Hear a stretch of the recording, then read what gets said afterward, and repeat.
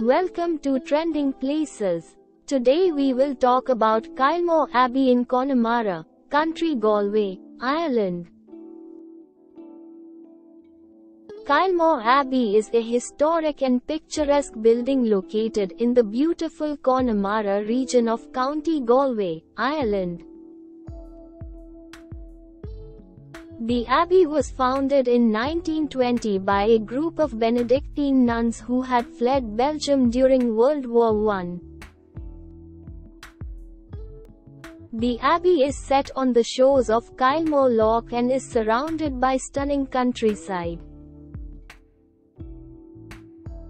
The abbey is a popular tourist attraction and is open to the public. Visitors can explore the Abbey grounds, including the church, the Victorian walled garden, and the Gothic Revival castle. The castle was built in the 19th century by Mitchell Henry, a wealthy businessman, as a gift for his wife.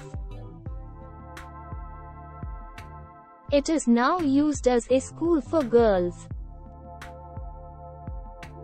In addition to touring the abbey and its grounds, visitors can also enjoy various outdoor activities in the surrounding area, such as hiking, fishing, and golfing. The abbey is also a popular venue for weddings and other events.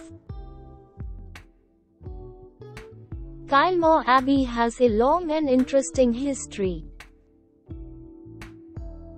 It was originally built as a private residence in the 19th century, but it has since been used for a number of different purposes, including as a hotel and a boarding school. It was donated to the Benedictine community in 1920, and the nuns have been running it as a monastery ever since. The abbey has been carefully restored and maintained, and it is now a popular tourist destination in the Connemara region. Thanks for watching our video. Do like and subscribe and keep watching all our videos.